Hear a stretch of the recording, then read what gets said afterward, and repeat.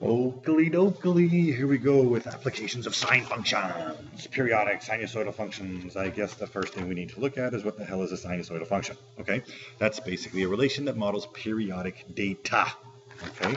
Now what we're looking about with periodic data is this sine and cosine functions, right? So hopefully you remember that we are breaking things down into four pieces, kind of equivalent to your four quadrants, right? So if you look at a unit circle here, right? So from 0 to pi over 2 would be this section right here, 0 to pi over 2. And then from pi over 2 to pi would be this next section, and then the 3 pi over 2, and then all the way back to 2 pi, right? So first quadrant, second quadrant, third quadrant, and then fourth quadrant, all right? Now, if you looked at sine functions, you'd know that sine 0 at 0, and then it goes up to 1, it goes down to 0, goes to negative 1, then goes back to 0. And we end up having a graph that looks something like this. Okay. If you look at a cos function, you know it starts at 1, and then every quadrant it goes to its other sort of location, and we can get a similar graph for a cos function that's just a phase shift away. All right. These are your original functions.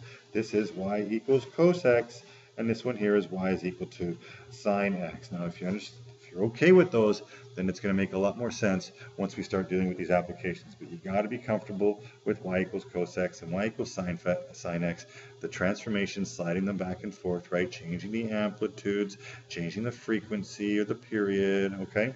Uh, and moving it up and down, vertical displacement. So um, look at those in a little bit more detail very shortly again. Uh, but what we want to look at maybe are what types of periodic functions are you looking at? What types of things do you know reoccur on a daily basis, on a yearly basis, on a whatever, uh, just recur at all, you know, uh, on an hourly basis? Well, hopefully if you gave it some thought, you'd be able to think of things like orbits or tides or moon phases, right? Those are pretty obvious ones, and we see them every day.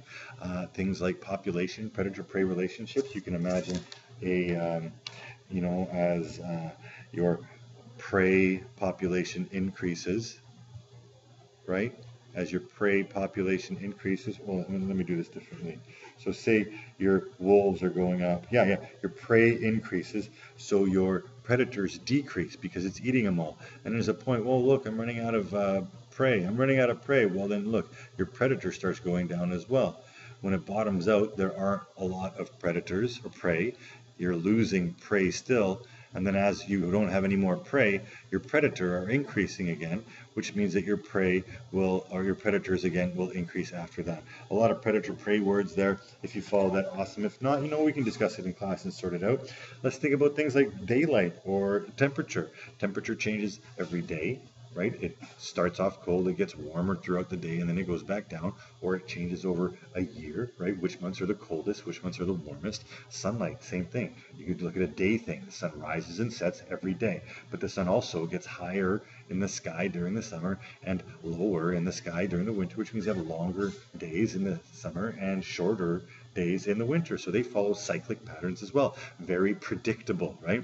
And that's the idea with these functions is that once you get an idea of what's going on, you can predict things. There's patterns that we notice. And if in a more sort of physical sense here, we can think about Ferris wheels, which are circular in a vertical way, and you can think of carousels, which are circular in a horizontal way. Okay, those are more sort of practical, visual types of situations that you will be dealing with this as well. Okay, now we can't lose sight of this information. This is some of the most important stuff here. Okay, this is your basic sine function with its transformations. Your A being your amplitude, your B affecting your period, and C being your phase shift or your horizontal movement, and D being your vertical displacement, how far up and down. This right here is the relationship between the B value and the period. And please understand that what you need the B for is your equation, right? You need the b in your equation, and the period, that's used for the graph because you need to know how big your period is so that you can graph it correctly. Okay, now let's look at a couple examples and hopefully we'll be able to answer some of your questions. So here is a situation. These are tides in a seaport, could be any seaport, but obviously the size of the tide matters. The amplitude here is 2.5 meters. That's definitely not here because we have a tide that is much bigger than 2.5 meters. Well, maybe not that much bigger, but it's definitely bigger. Uh, so let's have a look, find the maximum and the minimum tide, right? So we got to look at this graph and see if we can figure a couple things out here. Max and min tide, it kind of depends on where your graph is. If it's right here in the middle, it only goes up and down a little bit. If it's up here, then it goes up and down from there. If it's down here, it goes up and down from there. So in order to find out your max and min, you actually need to know where the midline is, right? And that midline would be your D value. And your D value is 13.4. So let's just go right here, put 13.4 and say, okay, that is the mid and it's going to go up a bit and it's going to go down a bit. And what is that bit that it goes up? That's the amplitude. My A is 2.5.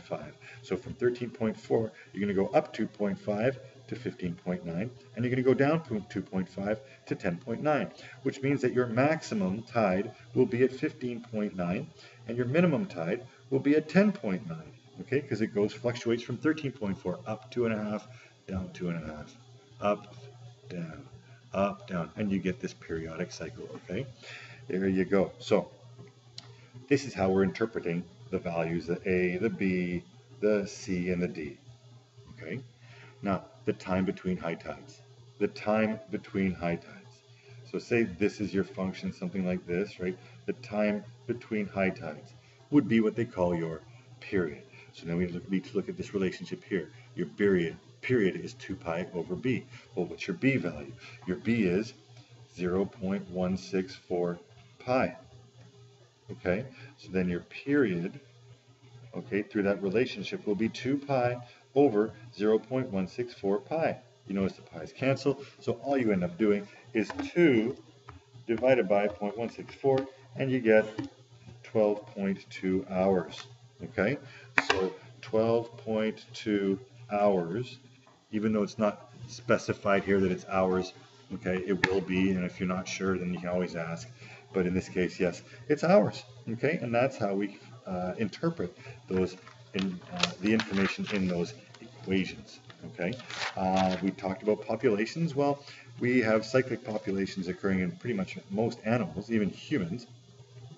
Uh, maybe we can relate to uh, uh, an ant population or insect population fluctuating as well, depending on whether it's hot or cold or whether there's lots of food or whether there's an infestation of something, right? These things fluctuate. Now, I have an equation here. The amount of ants with respect to time is 1500 plus 400 sine pi over 2t. Now, let's rearrange this into a formula or into a form that makes a little bit more sense, where that's my a value, right?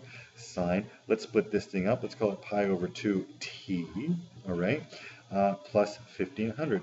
Now, maybe it would help right away to look at your different values. Your b is pi over 2, and your c uh, is 0, and your d is 1500. These are the four bits of information that you get from your sine function, okay, from your trig function. Now, let's see if we can interpret the questions that they ask here. Uh, so find the period of this function, okay, the period. So b is equal to your period, so it's 2 pi, so your period is equal to 2 pi over b, which is pi over 2. So in this case, it's going to be 4. So it takes 4 years for this thing to be cyclic to go from to do one full cycle, right? One full cycle. Now we're talking about years since 2000. So when we look at the next question, which is find the max and min of the first cycle, well, not quite yet. Sorry, I'm not using the time yet. But look, your mid datum, your D is up 1500. So here we go, 1500, right? That's the middle. Now your amplitude, it goes up 400, so that would be to 1900, and down 400 to 1100. So it means that your max would be 1900 and your minimum would be 1100. So that means that it goes from 1500 up to 19, down to 11, back to 15 in one cycle. Now, the one cycle takes four years. So that would be three, uh, that would be two, that would be one, and that would be zero. So after one year max, two years back to 15, three years back down to 1100, four years back to 1500, and that cycle basically is repetitive on and on and on, right? So the last thing we're looking at here, let me slide it up so I can leave all the information here. How many ants in 2018? So that would mean that your T is equal to 18 years if it's from the year 2000, right? So now we're looking at putting 18 in here. So you can have 400 sine 18 pi over 2 plus 1500. Now, that would be 400 sine 9 pi plus 1500. And this is the bad boy that you need to be able to sort out. What is sine 9 pi, right? Well, here, 0, right, all the way around. is 2 pi. All the way around again is 4 pi. All the way around again is 6 pi. All the way around again is 8 pi. Now I've got 1 pi left, which means I end up over here. So this is pi or 9 pi. Since those are coterminant angles, what you need to do is figure out what the value of pi is. And sine pi, you guys know, is 0. So what happens is this completely disappears, and you end up with 1500 again, right? Because if sine pi is 0, then 0 times 400 is 0, and you end up with just 1500. So it means that you did that cycle, and look, it makes sense. 4, and you're back here at 16, no, at, uh, at 8, and then back at 12, and then back at 16. So you're like here at 16, 17, um, and 18 years, and boom, you're back down at 0. So it does make a little bit of sense if you follow those patterns, okay? So that is that. Let's look at one last question here, which is a little bit different, but it's kind of cool in the sense that we plotted a couple things up. So here we have a table that looks like this, and it shows the temperatures for Winnipeg, Manitoba. You can do this for any place at all. And the cool thing is, is that when you plot this data up, you actually get something that looks like a sine wave. Now, where do they get these functions from? They get it from data like this. They record data they plot them up. They even input them into calculators, right? You go into here and you put a table in, right? You can start putting numbers in here. Uh, well, let me get rid of this function first. Clear, clear, clear, clear, clear. And then you go to table. You can start putting numbers in here, right? Any numbers that I want. Well, I can... Uh, Wow, do I have another function in here or something? Anyways, you can actually input your own numbers in here and uh, then do what they call a regression model, and it gives you an equation. I can show you guys that in class if you're interested. in It's also part of the, uh, uh, the foundations of Math 12 course. But anyways, what we've got here is a plot of the uh, information in this table. And then we're going to ask you a bunch of questions. Find the amplitude and period of this function. So first of all, what you need to do is find the amplitude and the period. I think the period's pretty easy. You can understand that the period is just 12 months, right? There's nothing funky about that. 12 months is the period. Now the question would be, okay, uh, blah, blah, blah, what's the amplitude?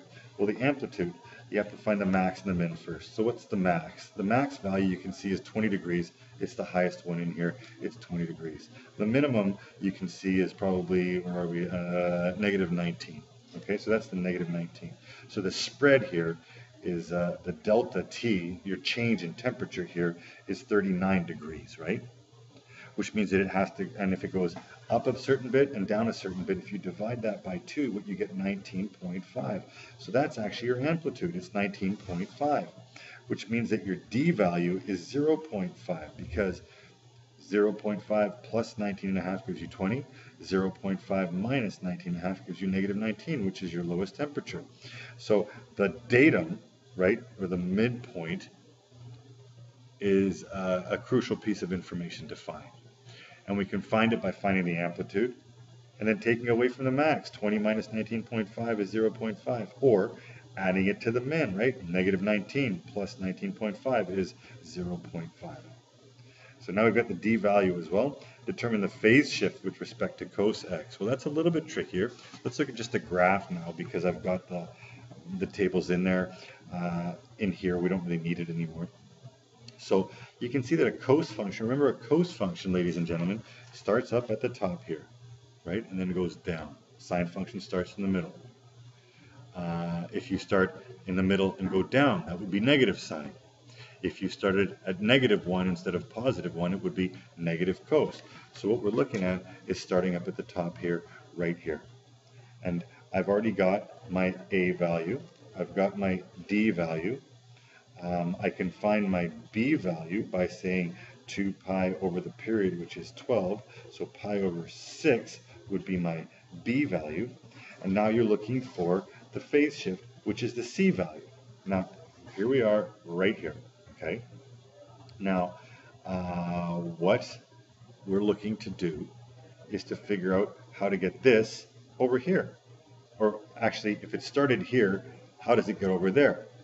One, two, three, four, five, six, seven, right? It goes right seven. So if it goes right seven, then it's going to be uh, and we're talking t, so let's say month, let's say month m minus 7. Okay, now if we put it all together, all together, you can find an equation in the form blah, blah, blah. So let's look at this. y is equal to a bracket, um, or not even a sine b bracket x minus c plus d. Well, my amplitude is 19.5. Um, and we're using a cos function, so let's use cos. My b value is pi over 6, right? And then uh, my it's m minus 7, and then it's plus 0.5. So this is all the information that I got off the graph, and boom, there is your equation, right? So let's see if this actually makes sense. If um, I can see that the temperature in October, uh, let's look at this, the temperature in October is 6, okay? The monthly temperature in October is 6 degrees. Okay, what would be the temperature in October according to this function here? Okay, so October would be month equals 10. So now let's plug it in. So y is equal to, so let's do this first. It's going to be cos pi over 6 times 3, right? Because 10 minus 7 is 3. So this is going to be cos 3 pi over 6, which is cos pi over 2. So now if we look at this thing, right, y equals 19.5 uh, cos pi over 2 plus 0.5, then we can figure this out. Cos pi over 2, hopefully you remember that cos pi over 2, look at the graph even, right? As you get down, pi over 2, cos pi over 2 is 0. So this whole thing becomes 0, which means that the equation tells me that it's 0.5. The graph tells me that it's 6. So it's off, right? Maybe it's not the line of best fit, but we've done the best thing that we can. Um, the idea was to show you how all these things are connected and hopefully we achieved that to some degree. There are way more applications questions, ladies and gentlemen, that we can do. Uh, please try them out of your book. I will provide you with sheets as well and we'll sort them out.